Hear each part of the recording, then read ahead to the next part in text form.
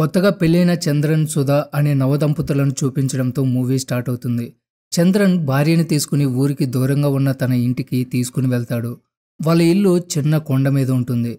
చంద్రన్ ఇల్లు పెంకుటిల్లు. పైగా చంద్రన్ భార్యతో ఉండే గదికి తలుపులు కూడా ఉండవు. దానికి అడ్డుగా ఒక పరద వేసుంటారు. అలాగే ఆ గదిలో ఒక కలర్ చేంజింగ్ లైట్ ఉంటుంది. అది రంగులు మారుతూ ఉంటుంది. ఇది చంద్రన్ యొక్క అతి పెద్ద ముఖ్యమైన ఇన్వెన్షన్. తర్వాత ప్రతిరోజు రాత్రి చంద్రన్ తన ఫ్రెండ్స్తో కలిసి మందు తాగి ఇంటికి వస్తాడు.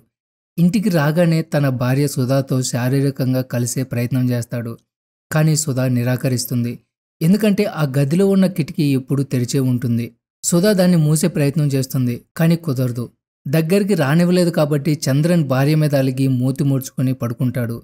చంద్రన్ ఇంట్లో తన తమ్ముడు తల్లి కూడా ఉంటారు. ఇప్పుడు సుధా కూడా అదే ఇంట్లో ఉంటుంది. కాబట్టి ఆ ఇల్లు పరిస్థితిని బట్టి సుధా కూడా చాలా ఇబ్బందిగా ఉంటుంది. దాని గురించి ఆలోచిస్తూ లేటుగా నిద్రపోతూ ఉంటుంది. తర్వాత రోజు ఉదయం లేవగానే అన్ని వైపులా ఉన్న ప్రకృతి అందాలను చూసి సుధా చాలా సంతోషంగా ఫీల్ అవుతుంది. తర్వాత సుధా చంద్రన్ దగ్గరికి వెళ్తుంది. అతను నాటు బాంబులు తయారు చేస్తూ ఉంటాడు. అడవి పందులు తరిమి కొట్టడానికి వాటిని చంపడానికి. ఎందుకంటే అవి వారి పరిసరాల్లో తిరుగుతూ ఉంటాయి. సుధా చంద్రన్తో మాట్లాడే ప్రయత్నం చేస్తుంది. కానీ చంద్రన్ మాట్లాడడు.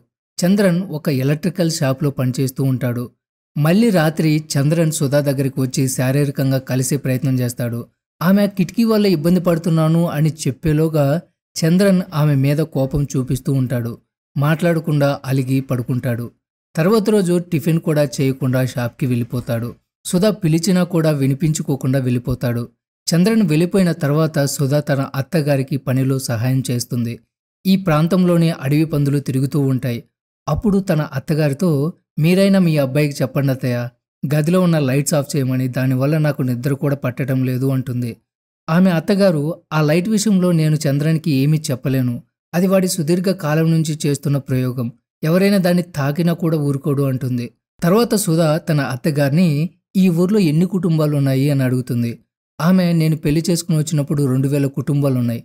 ఇప్పుడు వంద పైచిలుకు ఉండొచ్చు అంటుంది. ఇక్కడ టీ పొడి పరిశ్రమ కూడా ఉండేవి. ఇప్పుడు అన్నీ మూతపడ్డాయి. అందువల్ల అందరూ సిటీకి షిఫ్ట్ అయ్యారు అంటుంది. తర్వాత రాత్రి చంద్రన్ ఇంటి బయట కూర్చుని భోజనం చేస్తూ ఉంటాడు. అప్పుడు సుధా లైట్ గురించి మాట్లాడుతుంది. మీరు ఆ లైట్కి ఒక స్విచ్ పట్టండి. అది ఇరవై నాలుగు గంటలు వెలుగుతూనే ఉంటుంది అంటుంది. చంద్రన్ ఇది చాలా ప్రత్యేకమైన లైటు. అది కలర్ మారుతూ ఉంటుంది. దాన్ని త్వరలో ఒక పెద్ద కంపెనీకి చూపించబోతున్నాను అంటాడు. అప్పుడు సుధా మా ఊర్లో తిరణాలకి ఎంతకంటే జిగోలమైన కలర్ చేంజింగ్ లైట్స్ వస్తాయి. ఇందులో ప్రత్యేకత ఏముంది అంటుంది. ఆ మాట వినగానే చంద్రానికి చాలా కోపం వస్తుంది. తన దగ్గర ఉన్న నిప్పుని కాలితో తంతాడు. అది సుధాకి తగిలి చేయి కాలుతుంది. తర్వాత రోజు సుధా ఇంట్లో బోరుగా ఫీల్ అయ్యి చంద్రన్ కోసం క్యారేజీ తీసుకుని అతను పనిచేసే షాప్కి వెళ్తుంది. చంద్రన్ షాప్ ఓనర్ సుధాతో మంచిగా మాట్లాడతాడు. అయితే చంద్రన్ తెలియని ప్లేస్కి ఎందుకొచ్చో ఇంకోసారి ఇల్లు దాటి రావద్దు అని కేకలేస్తాడు.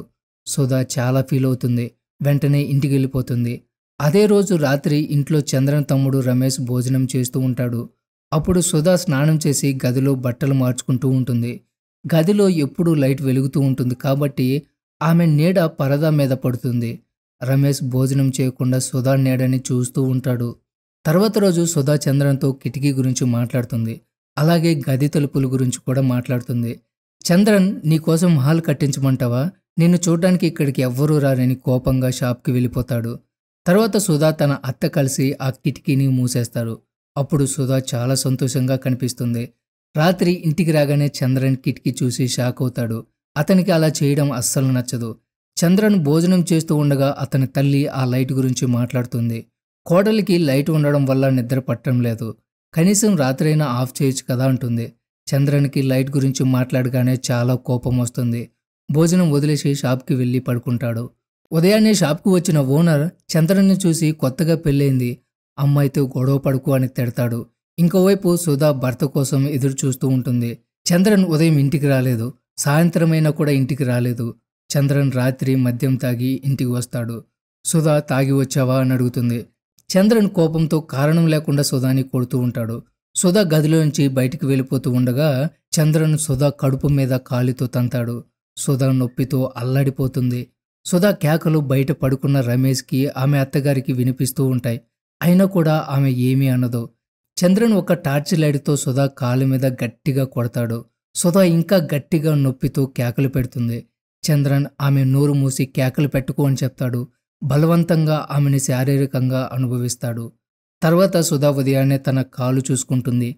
ఆమె కాలికి చాలా పెద్ద గాయమై ఉంటుంది. కాలు కూడా కింద పెట్టలేకపోతుంది. ఆ సంఘటన వల్ల సుధాకి జ్వరం కూడా వస్తుంది. ఆమె పరిస్థితి చూసి సుధా అత్త ఆమెకి కషాయం ఇస్తుంది. అప్పుడు పొరుగున ఉంటున్న ఒక చిన్న అమ్మాయి సుధా దగ్గరికి వస్తుంది. అప్పుడప్పుడు ఆ అమ్మాయి వాళ్ళ ఇంటికి వస్తూ ఉంటుంది. ఆ అమ్మాయి సుధాతో అక్క నేను నీకు ఒక మ్యాజిక్ చూపించిన అని తన దగ్గర ఉన్న బొమ్మతో పరదా వెనుక నించుని బొమ్మ నేడని చూపిస్తుంది. అది చూసి సుధాకి తను రోజు బట్టలు మార్చుకునేటప్పుడు రమేష్ చూస్తున్నాడని అర్థమవుతుంది. రాత్రి మళ్ళీ చంద్రన్ సుధా దగ్గరికి వచ్చి బలవంతం చేయాలి అని చూస్తాడు. సుధా దూరంగా వెళ్ళమని కత్తితో బెదిరిస్తుంది. గదిలో అరుపులు విని చంద్రన్ తల్లి ఏంటి ఆ అరుపులని కేకలేస్తుంది. చంద్రన్ సైలెంట్గా గదిలో నుంచి వెళ్ళిపోతాడు. తర్వాత రోజు ఉదయం సుధా మా పుట్టింటికి వెళ్తాను కొన్ని రోజులు అంటుంది. చంద్రన్ ఏ ఇల్లు? మీ అమ్మ లేదు మీ నాన్న వేస్ట్ గాడు. నీకన్నీ నేనే కదా. నువ్వు చచ్చేదాకా ఇక్కడే ఉండాలని గట్టిగా వార్నింగ్ ఇస్తాడు. చంద్రన్ వెళ్ళిపోయిన తర్వాత ఆమె అక్కడ ఉండకూడదని నిర్ణయించుకొని బట్టలు సర్దుకొని వెళ్ళిపోతుంది. కొంచెం దూరం వెళ్ళిన తర్వాత చంద్రన్ ఎదురుపడతాడు. సుధాని బయట చూడగానే చంద్రన్కి చాలా కోపం వస్తుంది. ఒక కర్ర తీసుకొని దారుణంగా కొడతాడు. సుధా అక్కడి నుంచి పారిపోవాలని అనుకుంటుంది. కానీ ఈలోగా అడవి పంది ఆమెకి ఎదురుపడుతుంది. చంద్రన్ భార్యని జంతువుని కొట్టినట్టు హీనంగా కొడతాడు. అందుకే సింబాలిక్గా ఈ మూవీలో అడవి పందిని చూపించారు. బాగా కుట్టిన తర్వాత చంద్రన్ సుధాని ఈడ్చుకుంటూ ఇంటికి లాక్కొని వెళ్ళిపోతాడు. సుధా పరిస్థితి చూసి ఆమె అత్త గాయాలకు వేడి నీళ్ళతో కాపడం పెడుతుంది. సుధాతో పెళ్ళైన కొత్తలో నా భర్త కూడా నన్ను ఇలాగే కొట్టేవాడు. నేను కూడా ఈ ఇంటి నుంచి పారిపోవాలని అనుకున్నా. కానీ వీలు పడలేదని ఆమె అత్త కూడా తను అనుభవించిన కష్టాల గురించి చెప్తూ ఉంటుంది. తర్వాత రాత్రి చంద్రను వచ్చి సుధా పరిస్థితిని పట్టించుకోకుండా ఆమెని బలవంతం చేస్తాడు. ఉదయాన్నే సుధా జలపాతం దగ్గరికి వెళ్ళి నీళ్ళల్లో కాలు పెట్టి గాయాలకి ఓరటనిస్తూ ఉంటుంది. పెళ్ళైన కొత్తలో సుధా ఇక్కడికి వచ్చి ప్రకృతిని ఆస్వాదిస్తూ ఉండేది. కానీ ఇప్పుడు అంతా మారిపోయింది. అలాగే రోజులు గడిచిపోతాయి. తర్వాత సుధా అడవి పందులు పట్టుకోవడానికి ఒక ఉచ్చు ఏర్పాటు చేస్తుంది. ఒకరోజు సుధాకి చంద్రన్ మీద చాలా కోపం వస్తుంది. కత్తితో పొడిచి చంపాలి అనుకుంటుంది. కానీ ఆ పని చేయడానికి చేతులు వణుకుతూ ఉంటాయి. కాబట్టి అలా చేయలేకపోతుంది. తర్వాత వర్షాలు పడుతూ ఉంటాయి. అప్పుడు భూమిలో నుంచి చాలా తేళ్ళు బయటికి వస్తాయి. సుధా అత్త వర్షాలు పడితే ఇక్కడ చాలా తేళ్ళు బయటికి వస్తాయి. నువ్వు జాగ్రత్తగా ఉండు అని చెప్తుంది. అప్పుడు సుధాకి మంచి ఐడియా వస్తుంది. ఒక తేలు పట్టుకుని చంద్రన్ గదిలో పని చేసుకుంటూ ఉన్నప్పుడు ఆ తేలు అక్కడ వదిలేస్తుంది. కానీ చంద్రన్ వీపు మీద తేలు పక్కడం చూసి సుత్తితో కొట్టి చంపేస్తాడు. తర్వాత రోజు చంద్రన్ షాపు ఓనర్ చంద్రన్ ఇంటికి వస్తాడు. చంద్రన్ తను తయారు చేసిన లైట్ని అతనికి చూపిస్తాడు. చంద్రన్ షాపు ఓనర్ త్వరగా నువ్వు ఈ లైట్ని పూర్తి చేయి. ఆ కంపెనీ వాళ్ళతో నేను మాట్లాడతాను అంటాడు. సో అలా వాళ్ళిద్దరూ గది నుంచి బయటికి రాగానే చంద్రన్ సుధాను చూసి ఇంటికి వచ్చిన వాళ్ళకి ఎలా మర్యాద చేయాలో తెలియదా అని తిడతాడు. చంద్రన్ షాపు ఓనర్ చాలా మంచి వ్యక్తి కాబట్టి చంద్రన్కి సుధాని ఏమీ అనుకో అని చెప్తాడు. తర్వాత రాత్రి చంద్రన్ ఇంకొంతమంది ఒక ప్లేస్లో కూర్చొని మద్యం తాగుతూ ఉంటారు. ఇంకోవైపు సుధా ఆ లైట్ ఆఫ్ చేయడానికి స్విచ్ వెతుకుతూ ఉంటుంది. సుధా లైట్కి స్విచ్ కనెక్ట్ చేసేలోగా చంద్రన్ అక్కడికి వస్తాడు. సుధాని లాగి కొట్టి నీకెన్నిసార్లు చెప్పాను ఆ లైట్ని తాకొద్దు అని అంటాడు. తర్వాత రోజు రమేష్ తల్లితో కలిసి పెళ్ళికి బంధువుల ఇంటికి వెళ్తారు. వెళ్ళేటప్పుడు సుధా అత్త గ్యాస్ మీద బియ్యం కడిగి పెట్టి వెళ్ళిపోతుంది. అన్నం ఉడికేటప్పుడు పొంగు వచ్చి గ్యాస్ ఆరిపోతుంది. వాసన రావడం వల్ల సుధా వెంటనే వంటగదిలోకి వెళ్తుంది. కానీ సుధా గ్యాస్ ఆఫ్ చేయదు. మళ్ళీ ఆమెకి ఇంకో ఐడియా వస్తుంది. అదే సమయంలో చంద్రని ఇంట్లో నిద్రపోతూ ఉంటాడు. ఆమె బయటకు వచ్చి కిటికీలోంచి అగ్గిపుల్ల వేసి కాల్ చేయాలి అనుకుంటుంది. ఈలోగా అక్కడికి చంద్రన్ షాప్ ఓనర్ వస్తాడు. చంద్రన్ని నిద్ర లేపి షాప్కి తీసుకుని వెళ్తాడు.